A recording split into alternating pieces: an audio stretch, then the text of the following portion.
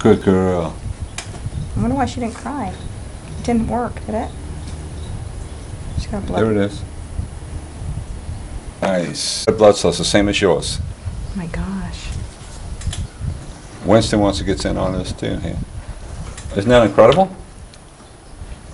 I expected to see her, her, ooh, what's that? These are all deformed. Yeah.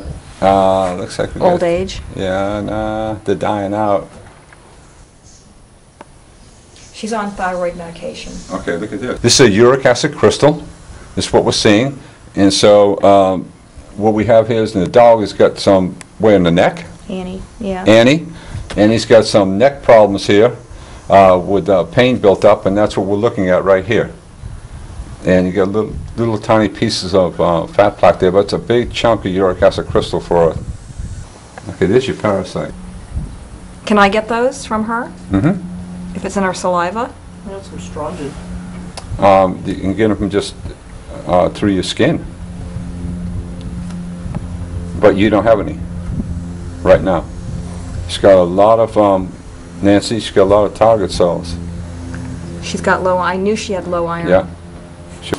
So, exactly what, what we, what you I you knew thought. she was a mess. hmm Kizzy, what have you been doing? You're losing all your. And I was, but I was curious about the iron. You give it any probiotics? Yeah, not every day though. Do it every day.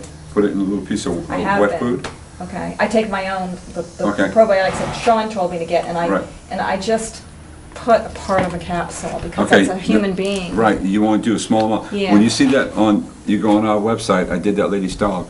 They had digestion issues, uric acid crystals, and I told her to take a little bit, like we have our own Yeah. product line. Okay, we Yeah. have the enzymes, the probiotics, everything.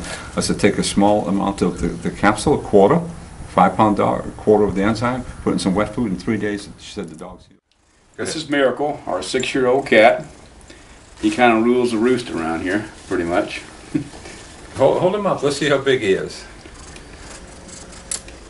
Come on, Miracle, sit up. Don't lay.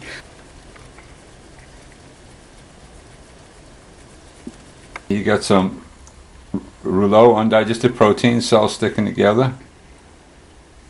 That's not bad. You got a few free radicals out there. It's a parasite. Touch that red blood cell right there. See him, Doc? Mm-hmm, I see him.